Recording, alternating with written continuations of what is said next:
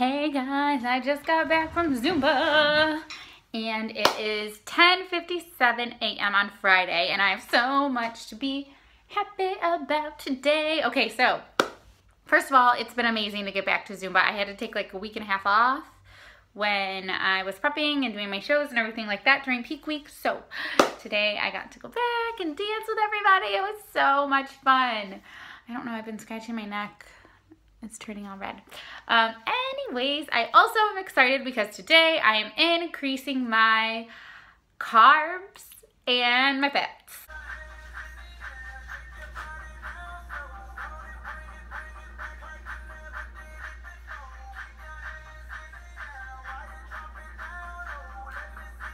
So on my reverse diet plan, I started out 60 carbs, 120 protein, 40 grams of fat. And today I'm bumping it up. I was actually have been losing weight um, each day, which probably because was because on Tuesday I started at 112 and I was super bloated. So each day of the week I've kind of seen that bloat go down now that I'm back on um, my reverse diet. So I did my reverse diet, those macros for Tuesday, Wednesday, Thursday. Yesterday I was so hungry, guys. Like, seriously, a big blah blah baby about it because I wanted to eat. Um, it was probably like eight and I had taught Zumba last night too. I subbed at Prairie and then when I got home I ate and it was a delicious meal um, with chicken and lettuce and bacon. Bacon. Yeah, bacon. Anywho, look at these little curls. My hair was straight when I went into Zumba, you guys. Now it's all curly. I'm so easily distracted right now. This is what happens when you're home alone after Zumba and you have tons of energy. What was I talking about? Okay. okay, I was talking about increasing my macros. I lost my train of thought. And there's a fly. Oh, these flies in my house, I swear to goodness. Okay. Oh, I was so hungry. That's where I was. I was super, super hungry last night. Um, I did cheat a little bit. I had like a couple, I had a bite of my husband's hot dog and then I had a couple hot Cheetos, like literally five. Not a lot. I don't even count it. I didn't count my macros. Anyways, I woke up this morning and I weigh 108.4. So my weight is going back down a lot. So I'm increasing the macros today and I'm decreasing my cardio by 10 minutes. So I did an hour of Zumba this morning as my workout and then tonight I'll go to the gym. I'll do 35 more minutes of cardio and then a strength training session, which I haven't really decided what I'm gonna work today. So we'll see. Maybe I'll do whatever the hubby's doing. Maybe a leg day. I don't even know. Um, my neck. Ugh. Anywho, um, I wanted to just up, uh, uh, I wanted to update you guys on my macros and I'm just so super excited about it. I'm gonna eat now. Um, and yeah, I'll check in with you guys maybe later. I finally got my show day vlog up, I know, a week later. Sorry guys, I suck at editing them. It takes me forever. Hopefully I'll get better at it. Um, and then I'm gonna put this reverse diet up for week one of my reverse diet, I'll probably just clip them all together so it's not a bunch of little videos. But I'm gonna go eat my Shakeology. I have to finish my pre-workout, like my BCAAs and pre-workouts that I was supposed to finish before Zumba.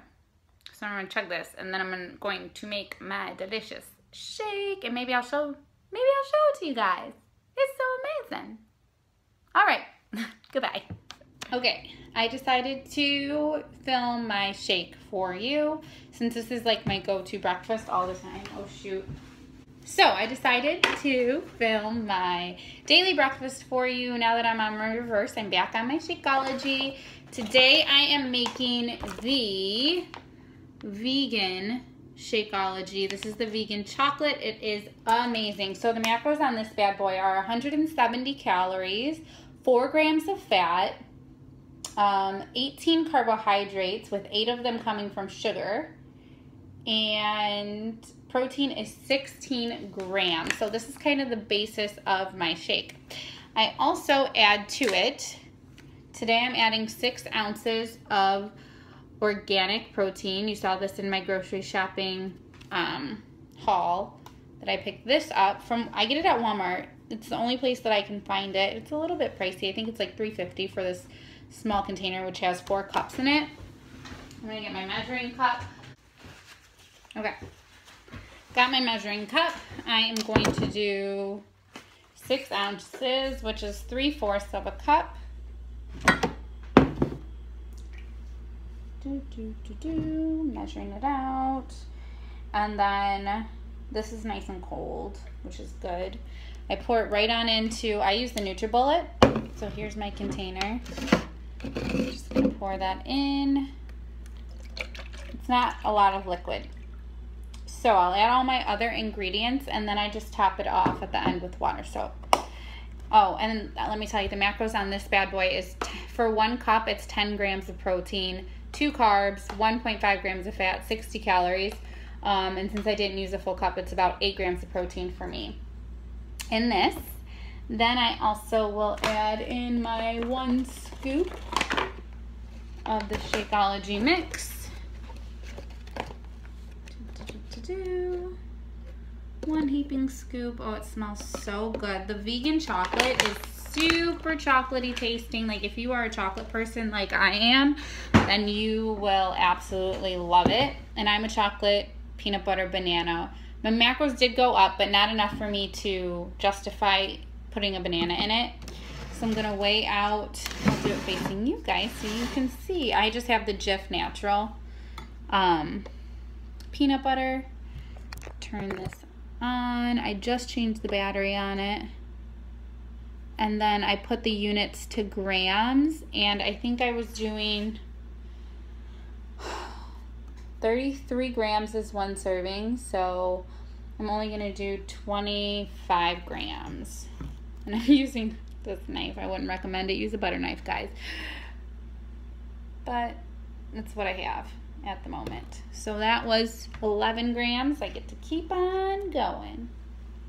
19 grams. And I'm just dropping it right on in here. And then it's 28, 25 grams. And it goes. Always lick off the excess because I counted those macros and some on my finger. Okay.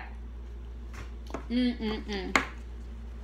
Wipe my hands. And then the final thing that I add before the water is my Optimum Nutrition vanilla. See, I really actually like adding the vanilla ice cream to the chocolate. And most people would think like it gives it a weird taste and you'd want to add more chocolate. But the chocolate vegan Shakeology is such a rich taste. I'm only adding half a scoop. That it, um, the vanilla ice cream just brings out a little a little zing to it. So that's what it looks like now. I'm gonna add water all the way up to that max fill line and then I'm gonna blend it up and I'll show you guys what it looks like. All right, it's all done and blended. So I'm just gonna pour it on in to my Shakeology cup. It goes pretty much to the top. Like that is a full, legit meal, you guys. And I'll post the macros on this meal below, but it is perfect to have after a workout, perfect to have first thing in the morning. And the, what I love about Shakeology is it has tons of freaking superfoods in here. So we have flax, ginkgo, my take, I don't know, I don't even know how to pronounce that, that's how fancy it is. Goji berry, pomegranate, quinoa, um, bilberry, moringa, um, so it really helps for my sweet tooth cravings because I get a lot of those. I really have a huge sweet tooth. Helps with that. And it also just helps give um, my body the nutrients that it needs for the day so that I'm not craving um, like a shit ton of junk because my body is actually fueled with the nutrients that it craves and needs um, throughout the day. And I don't have to eat a vegetable, but there's vegetables in here. Yay. Okay, I'm going to enjoy this, and I actually have a lot of work to do. So I'm going to work, and I'm going to drink my shake, and I'll catch you guys later. Bye. Hey guys, I just wanted to do a quick check-in. Today is Sunday, July 10th. So I just wanted to give you an update on my reverse diet and kind of come clean about some of my cheats that I've had. Um, so last time I checked in with you guys, it was Friday, and I did I showed you guys the recipe and everything, and I was in such a good mood. I had just increased my macros, um, and so I was excited about that. And then Friday night, it was my friend Ashley's birthday.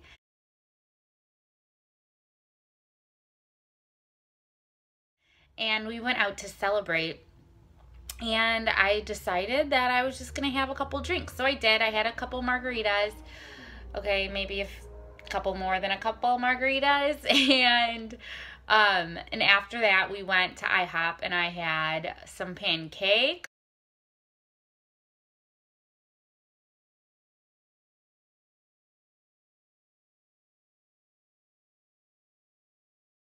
That definitely didn't fit in my macros. Um, and I was I felt okay about it because I figured, okay, it's just one day. Um, I'm having a good time with my friends and it's not going to make or break me. I got up the next morning, weighed myself. I think I was up, um, I was up to 110.6 maybe. And the day before I was at 109. So I went up maybe a pound and that's just, of course, bloat and things like that. And so I hit the jet, gym really hard. I did my normal cardio and then I did um, a leg day and my legs were so sore. So when we went out, we went out dancing and I love dancing as you saw in the previous clips. It's like my happy place. Um, and we literally danced for three hours straight, like nonstop. Even my husband Fabian was getting it on the dance floor. Like it was just a really good time. Um, and I know we burned a ton of calories. That's also why I didn't feel too guilty about um, the drinks that I had. So, where I was going with that is I tried to do legs the next day because I was like, oh, I have all these extra carbs in me. I'm going to pump out legs. My legs were so sore from dancing and getting low, apparently. so, I did maybe like three sets of squats and by then my legs were done. So then i just kind of killed out my well my quads were done. So then i just killed out my hammies and my glutes by doing a shit ton excuse my language of deadlifts. Um, and then i think i did i think that's it i only did squats and deadlifts and then i was done with that and i ate very good all day i went right back onto you know my normal macro eating plans I did my cardio and I debated about the fact that I should have to do should I have to do more cardio to make up for it. And I started to kind of feel a little bit guilty about going out the night before. And I started questioning like should I do just an extra 15 20 minutes of cardio or should I stick to the fact that I just decreased my cardio by 10 minutes a day? Um, that debate went in my head and I realized no, I shouldn't be trying to overdo things and I need to stick with my plan. If I have one bad day or one bad evening, I'm not going to punish myself the next day for it. I'm not going to make myself reduce my carbs and re- and increase my cardio. That's not a healthy place to be and that's not the point of this reverse diet for me. I decided that I'm going to do my normal amount of cardio and then for the rest of the night um, I'll be active. So Fabian and I ended up going for a walk in downtown Elgin, down the river walk, which is really beautiful. And it was just a leisurely walk, but it was a way to stay active, burn more calories, and just do it in a way that's enjoyable. So Fabian and I walked for a while, and that was really, really nice. Um, and then to last night, I don't know what happened, but I fell asleep at probably 10 o'clock and woke up with like the craziest sugar cravings ever. I don't know if you've ever done this, but I felt a little bit like a crazy person because I woke up and I ate like six Oreos and a half a, not even a half a cup of milk, it was probably like a quarter of a cup of milk. But like when you're half asleep, you're not even thinking, you know, like I didn't have a debate with myself about it. I literally just woke up from sleeping on the couch, went and ate some Oreos, and then went to bed bed. and kind of thought to myself after I was done eating it, like, why in the world did I just do that? I still don't know why I did that. Um, but it was like an extra. It put me over my carbs a little bit, not not by much, because I was I didn't have a lot of carbs yesterday, and then it put me over my fat by like 20 grams. Like that's a huge amount of fat to go over. Um, so I woke up this morning after putting it all into my fitness MyFitnessPal, and I felt a little guilty again. And I kind of had this debate like, what is wrong with me? Why can't I stick to this plan? Um, and am I crazy because I'm having such a hard time with this? Or um, just, I don't know. I'm kind of a little bit annoyed with myself and the fact that I haven't been sticking to this plan and the whole point of this reverse diet series is to show you guys how it works. And the fact that this weekend I couldn't even stick to my macros is disappointing to me. I feel like I'm letting you guys down. I feel like I'm definitely letting myself down. And of course, like every 10 minutes, I'm checking my abs to see if they're still there. I'm checking my arms. And I feel a little bit fluffy, but my body hasn't really changed that much from having these treats. So I think the number one thing that I'm learning is that I don't have to be perfect in this reverse diet. And the weekends are harder for me, and that's okay because that's normal. And I'm sorry for the glare on my glasses. I see it going, but the like literally it's normal to be hungry when you're dieting. And I'm still technically dieting, and although we're increasing my macros, I'm doing it at a really slow rate. So I'm going to have cravings still and I'm going to be hungry still. And I didn't binge, which is what I was doing in the past after my shows. I was eating anything and everything. So in that aspect, I've made progress. Am I exactly where I want to be with my reverse diet? No. But am I in a better place than I was before? Yes. And that's what's super important. And that's what I need to continue to remind myself of is it's not about perfection. It's about progress. And I say that all the time on my Facebook and here and there. And I say it um, especially when it comes to doing your workouts and to, you know, getting the body that you desire. I always say it's about the journey, it's about the progress, it's not about perfection. But here I am holding my reverse diet to this perfection standard, and that's not realistic for me. Um, so I'm going to try to throw that mentality. It's going to take a while, but I'm going to try to throw that mentality out the window and eat to my macros as close as I can without going crazy overboard, without thinking that I need to do all this cardio to make up for any extra calories that I eat. Um, and to also know in my head, in a couple weeks, I will have so many more macros to work with and that's the end goal. The end goal is I want to build my metabolism up so that I can have more food and I'm not feeling this way. And I want to do it in a slow manner um, so that I'm not binging, so that I'm not putting on a ton of weight that I don't want to, so that I don't undo all the progress that I've worked for. But I do have to say, you guys, I overate on my macros, but today's workout was amazing. Like, legit, I had two really like high carb, high fat days with Friday. Well, it was kind of like Friday night and then Saturday night having those extra Oreos, which isn't that big of a deal, I know, but still, those extra calories, I crushed it in the gym today, and I only didn't. Sundays are my day that I only do one um, cardio session. I don't do the two. So I did my 55 minutes of cardio and I stuck with that, but I did the first 20 minutes of um, HIIT training. So I was doing sprints on the treadmill. And then for about 15 minutes, I walked at an incline.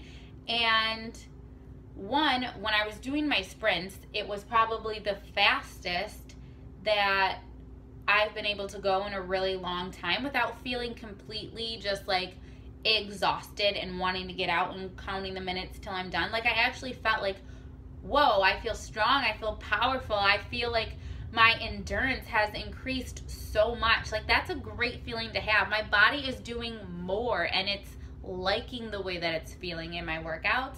So that's that's important and that's a lot more important than me being so focused on these numbers in MyFitnessPal. I'm feeling great. My body still looks great, and I'm going to put some progress pictures in. I'm taking them tomorrow morning, and I'm going to put them in for you guys to see. And I want you guys to see how my body slowly changes throughout.